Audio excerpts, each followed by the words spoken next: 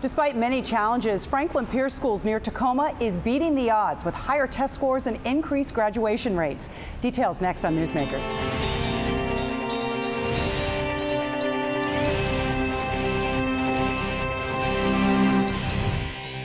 Hi, I'm Sabrina Register. Welcome to Comcast Newsmakers. We are in Spokane today for the annual meeting of the Washington State School Directors Association.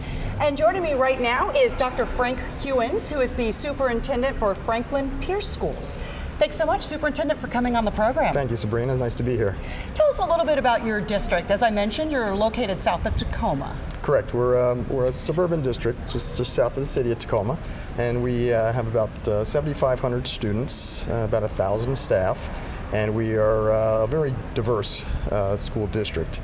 Um, we are a majority minority school district. We have uh, a variety of um, cultures represented, 50 to 60 languages. Uh, we have quite a high poverty factor. About two of, out of every three of our kids uh, qualify for free or reduced lunch. Some, um, some, significant challenges that some of these children are facing when they come to school. Some significant challenges, yes, and we um, we don't. Um, we don't use them as excuses. We use them as uh, opportunities to, to make families' lives better and, and to really get our kids uh, ready for the future.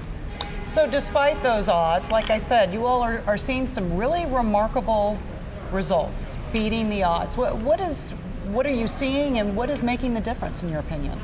Well, I think it's a, it's a, a commitment by our staff uh, that uh, right from the school board down through every one of our 1,000 employees that um, you know we're committed to the vision that we have to, to have every student uh, be prepared for post-secondary education and uh, creating every opportunity to make that happen.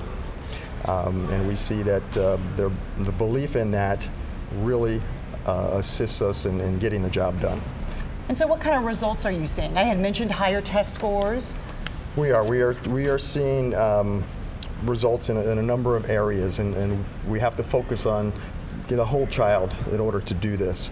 Um, our students don't normally come with um, the advantage of, of having a um, uh, early childhood education and being ready for, for school at kindergarten. And so we've, we've done a lot of things to, to assist in that. We've, we've established full day kindergarten for all our, all our elementary schools for all parents at, at no additional cost. Uh, we've reached out in, in, early childhood education as well and partnering with uh, child care centers and helping them um, use curriculum that will get them ready so it sounds like you are starting from the beginning. We are starting from Even the beginning. Even before they're entering kindergarten, you really want to start them off on the right foot. Correct. And we focused on, on things such as attendance at school. Um, every um, elementary school actually has a graduation goal in their school improvement plan, and that focuses mainly around attendance. And we've been able to raise our attendance so that 97% of our um, of our students in elementary school uh, have missed no less than 15% of of school during the course of a year, and that, that's made a big difference, you know, because they have to be there in order to, to get what they need. And you're seeing that even through the grades. And so as they get older and finally become seniors in high school, you are seeing uh, an increased graduation rate, are you not? Correct, correct. We are seeing um, a significantly uh, increased graduation rate. About five years ago, about the time I took um, the, the seat as superintendent in our district, uh, we were cast uh, in a pretty poor light as a dropout factory uh, by some uh, data that came out through, uh, through the news media.